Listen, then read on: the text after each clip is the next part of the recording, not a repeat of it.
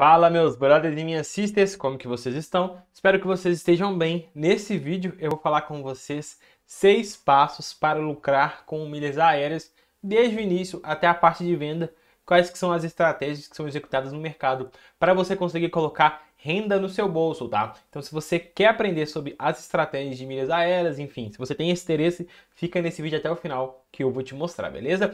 E antes de começar com o conteúdo, se você quer aprender mesmo do nível mais básico ao avançado, todas as estratégias, todos os programas de fidelidade, cartão de crédito sobre milhas aéreas, Tô deixando na descrição o link do meu curso gratuito, vai ser três aulas totalmente grátis e ao vivo, no qual eu vou te ensinar a investir em milhas aéreas e também em fundos imobiliários. Então eu te espero lá e bora no conteúdo. Bom, separei aqui seis passos, tá, pra gente aí conversar sobre e vamos lá. O primeiro passo é o seguinte: conseguir um cartão de crédito com um bom limite. Querendo ou não, é importante ter limite, tá? Se você não tem limite, vai trabalhando em cima do cartão que você tem para conseguir estourar o limite todo mês e assim você conseguir ir solicitando aumento ao seu banco. Aí como ele vai ver que você está estourando todo mês o seu cartão de crédito, eles vão te conceder mais crédito no mercado, beleza? Mas ter um bom cartão de crédito é fundamental porque você vai usar capital de terceiros, o capital do banco, e não vai tirar dinheiro do seu bolso para desembolsar uma estratégia ali que às vezes vai ter que passar 5, 6, 7 mil reais no cartão de crédito.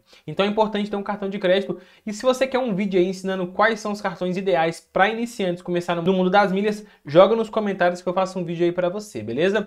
Então o primeiro passo é esse, tá? E Jonas, eu não tenho um cartão que gera milhas, posso começar com qualquer um? Pode sim, tá? O importante é ter limite e com o tempo você vai aprendendo e vai solicitando os cartões bons do mercado para conseguir acumular milhas através do seu cartão de crédito. O segundo passo aí é o seguinte: fazer cadastro nos clubes de fidelidade. Então faça o cadastro em Smiles, Tudo Azul, Livelo, Latam Pets e Esfera. Ter cadastro nesses programas de fidelidade é fundamental para você conseguir fazer as estratégias aí com excelência, tá? Então faça o cadastro nesse programa de fidelidade. O terceiro ponto é assinar os clubes de fidelidade no momento certo. Quando for rolar alguma eventual promoção que vale muito a pena você assinar um clube, nesses momentos você tem que ir lá e assinar, porque essas assinaturas vão te gerar lucro de 20, 30, dependendo até 40% sobre o seu capital investido no pagamento ali da mensalidade desses clubes, tá? Então os que eu mais indico quando rola promoção é Livelo, Smiles e também a Tudo Azul, rola muitas promoções. Esses são os três principais para lucrar. Os outros, Latam PES e Esfera, você só faz o clube mediante quando rolar alguma promoção para você fazer a estratégia direitinho, beleza?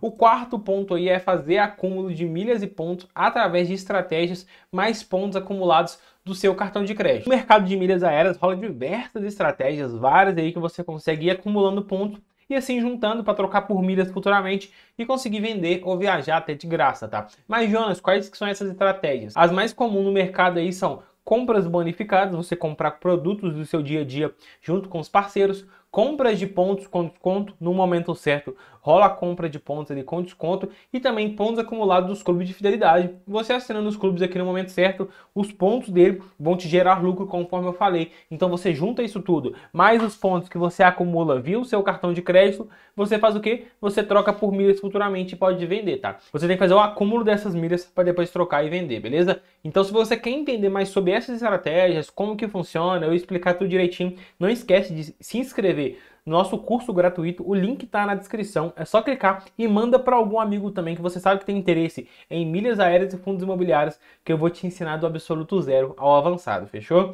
Então é isso, o quinto aqui, o quinto passo para a gente, em alguns momentos pontuais no nosso mercado, rola promoções, tá? Chama transferências bonificadas. Só que normalmente é bem pontual, acontece ali, sei lá, na semana de segunda a quarta, se você transferir os seus pontos para as companhias aéreas, por exemplo, você manda para Smiles, para Tudo Azul ou para Latam PS, seus pontos eles dobram. Então, se você tem 20 mil pontos, por exemplo, na esfera, e você vai transferir numa transferência bonificada, você manda os seus pontos e ganha mais 100% de bônus. Ou seja, vão virar 40 mil milhas para você vender, por exemplo, na Smiles.